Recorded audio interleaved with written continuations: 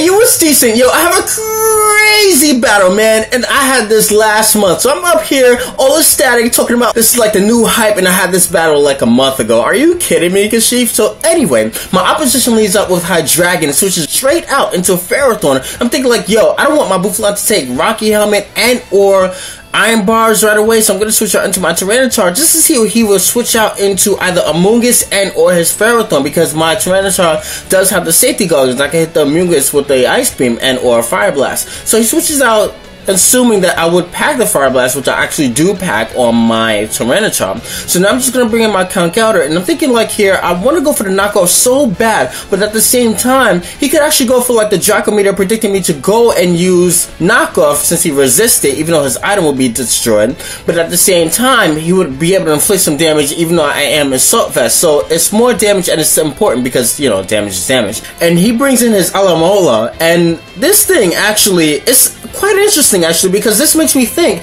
that it's usually the foot is usually on the opposite side. Like I'm usually the one who's bringing unorthodox things and or uncommon sets in the face of an OU battle like Hariyama, Golduck, even Bouffalant. And now my opponent in this case scenario is actually doing the same thing that I would do and I'm carrying things like freaking Tyranitar and. So it's like the foot is on the other shoe, which is quite interesting because in this case scenario, like I was about to say before I cut my own self off, this fish Oh my god, screw this palindrome, man, because this thing got on my last nerves, man. The physical wall is so, man, let me tell you. So now he's just gonna go and Wish Protect, right? I guess draining down my Drain Punches. I did want to knock off his leftovers. I guess it'll be a little bit more helpful later on. I never know. So now I'm just gonna switch out into my Thundurus insinuating I'm gonna go for the Thunderbolt, which I don't do. I make a double switch out into my Conkeldurr just to see what he will switch out into. Primarily his uh, Dragon, because I would actually want to go for the Thunderbolt, and he would just recover the damage, assuming that he will bring in his his Hydreigon to sponge the Thunderbolt. So that's what I thought he was going to do. Hence, I switch out into Conkeldurr, I switch right back out into Tyranitar just to block the Spore in case he wanted to go for the Spore because my Tyranitar is packing the safety goggles. But instead, he goes right back out into his Alomomola and I actually pronounced it correctly. Oh my god, but that's a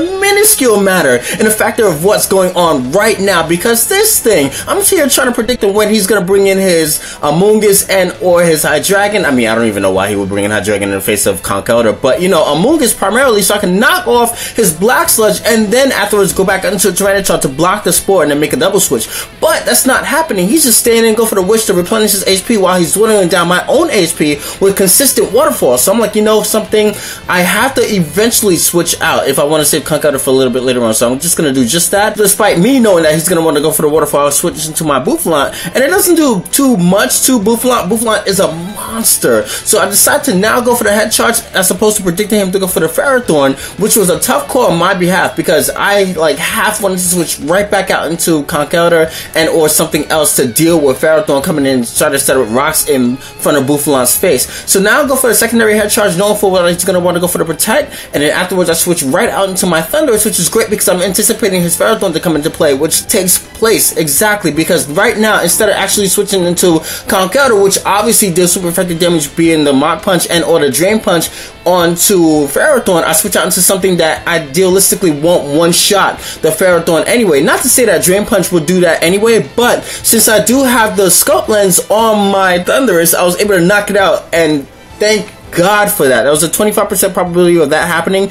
and it took place right then and there. So now he's going to bring in the Nidoking, insinuating that he is Choice Scarf. I'm thinking that he's Choice Scarf because the fact that he brought in something with a lower base speed than something that's already out in the field. Plus, I do have the Scope Lens, which I just told him afterwards. So I do have the 25% shot of critting him with the Hidden Power Ice. I knew that he was going to be Scarf. So I'll make a double switch right out into Bouffalant, trying to catch the Vaporeon and or oh, oh my god, I pronounced it wrong this time. But the Palindrome on the Switch, but now he brings in this thing to defend against my choice banded head charge. That is not happening, especially since earlier I knocked off your leftovers. So now he's gonna bring in his Nidoking as Death Fodder. Head charge is gonna man. There was for that. I so wish that get hit with all of that was mine, man. That was so perfect, man. Oh my god. So now I'm just gonna switch out my line to try to save it for Vaporeon a little bit later on because I do outspeed Vaporeon and it can still be useful to taking out one threat on his party. And after bringing in his uh, dragon, I'm gonna respond back with my Tyranitar, skillfully dodge, move out of the way. That Fire Blast is not hitting me anytime soon. It's gonna bring out his Alomomola. I have to say that's super slow. My god, that's the most difficult palindrome out of all the palindromes, man. I'm so serious. I roll my tongue, I bite my tongue trying to pronounce this damn fish's name. I never want to see this clown again, seriously. So now I actually make a mistake and set up late game rocks where I actually should have went for the Stone Edge. Not that Stone Edge would have hit a secondary time, but you know. I could actually been able to KO it at that point amount of HP, but that's alright because now he's gonna predict me to go and over predict and use Hidden Power Ice, preferably because he still has Amoonguss and go for the Toxic. I'm thinking that he went for the Toxic because if I went out into my Conkeldurr, Conkeldurr is slower, so he could just finish me off with a Waterfall before he gets a Guts boosted Drain Punch to the face. So that was actually a great play there for him to actually stay in, in a sense. Not a great scenario in this example because I went straight for the Thunderbolt and I was able to finish it off. So now in comes his Amoonguss. Amoonguss is now going to show me Substitute, which is unorthodox. I've never seen that before, but that's quite interesting.